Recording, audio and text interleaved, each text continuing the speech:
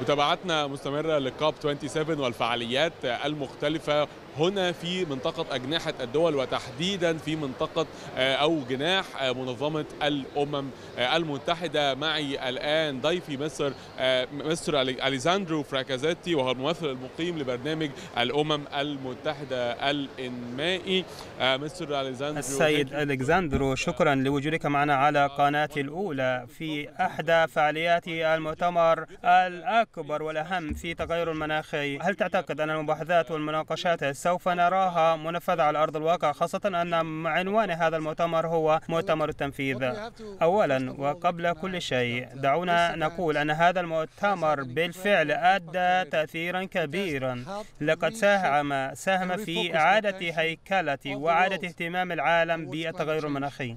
نحن كنا نفقد البوصلة حتى بعد اتفاقية باريس في عام 2015 كنا قد نفقد البوصلة نظرا بالعديد من الظروف والأزمات ومنها ارتفاع درجة الحرارة واحد بنسبة واحد مئوية والتكيف والتمويل من أجل التكيف. ولكن في جلاسكو في العام الماضي حاولنا أن نعيد إلى المسار الصحيح. ولكن هنا في مؤتمر شرم الشيخ بالفعل عدنا على المسار الصحيح. ولا يمكن القاء اللوم على الحكومات لأنها تحاول أن تقلل تكلفة المعيشة خاصة في ظل التضخم ورغم وجود هناك تحديات ولكن بالفعل تهانينا لمصر أن تعيد الم... عودنا إلى المسار الصحيح في هنا في منطقة شرم الشيخ. وأعتقد أن هذا المؤتمر رائع جدا التي شاركت فيه أكثر من 120 كادة ورئاسة هنا في المؤتمر. وبعضهم سيعود أيضا في الأيام الأخيرة من المؤتمر.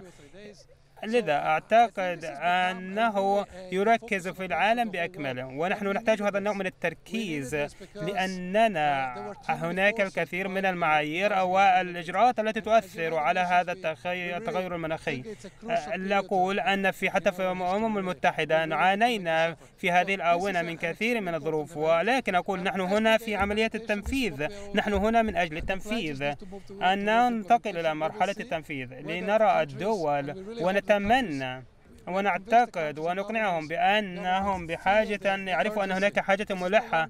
لا نريد كثير من الأزمات ولكن هذه حاجة ملحة وأزمة. نحن بحاجة أن نمضي ونقول أن هذه أزمة وإلا ستكون هناك كارثة عالمية. ربما لا يكون هناك عالمية. سيد ألكسندر فيما يتعلق بهذه الإجراءات الكارثية أنها تحدث في على مدار الوقت. عندما تكون هذه المناقشات بحاجة إلى تنفيذ فعلي ربما يمكن تأجيلها وتأخيرها وربما تكون كارثية أو بعض الأمور التي قد نواجهها. كل هذا يحدث على مدار الوقت. نعم أنت صحيح.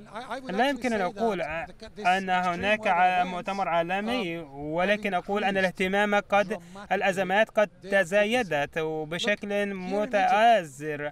هنا في مصر أنت تعرف أننا بعضكم من الزملاء هنا هنا في المواطنين. لقد رأيتم رأيتم ارتفاع البحار وحتى حدث في في الكسندريا والكسندريا وهذا ربما قد يحدث مرات أخرى بعد سنوات وربما قد يحدث ربما مرتين عام كل سنة. حتى السكان في القاهرة يرون حجم الأمطار. أيضا هناك هناك أنواع مختلفة من التغيرات المناخية. هل ماذا عن هناك؟ نرى في مناطق أخرى فيها جفاف بحجم وأيضا فيضانات لم نرها من قبل. نعم نحن حال الآن أن يمكن مواجهة هذا حتى الآن في هذه الظروف ما نقوله وما نود أن نسعى إليه خاصة في الأخير الثلاثين الأخيرة السنوات الأخيرة كانت هناك درجة حرارة مرتفعة بدرجة كبيرة تحثنا وتدفعنا على على العجالة في إجراءاتنا. هو واضح للجميع. ليست مجرد نقاشات هنا ولكن هي عملية تنفيذ مخطط ومنفذ بشكل جيد. نحن هنا هناك ثلاثة ثلاثة أشياء نحتاجها في تغيير المناخ وهي التمويل. التمويل لا يأتي من بالرغم بالرغبة ولكن هو أنه لازم أن نقنعهم بأن هذا مهم للجميع.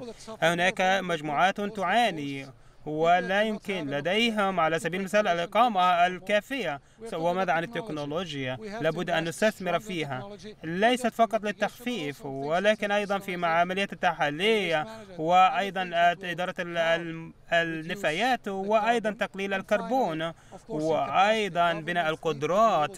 الحكومات تحتاج إلى بناء قدراتها لتنفيذ التزاماتها. كل هذا تمني كبير وآمل كبير. نعم شرم الشيخ عدنا إلى المسار الصحيح لابد أن نريد أن نعود إلى المسيرة بالمسار الصحيح ونستمر بقوة. سعداء أن نلقاك مرة أخرى ونجد التنفيذ على أرض الواقع وشكرا لانضمامك هنا على قناة الأولى. يعني كما رأينا ربما تحدثنا هنا مع الممثل المقيم لبرنامج الأمم المتحدة. الإنمائي عن فكرة وآلية التعامل مع التحديات المناخية. وأيضا كنت أتحدث معه عن أن هذه الكوارث التي ذكرها التي ازدادت كثيرا في الأيام الماضية هل من الممكن أن تؤثر أو تؤخر فكرة التعامل مع التحديات المناخية بما أنها دائما متواجدة ولا تتوقف أبدا؟ ولكن قال أن هذه الكوارث تزيد بالفعل. وربما نحن الآن في وقت حرج وعلينا أن نتصرف سريعا وهو ما بالطبع يتوافق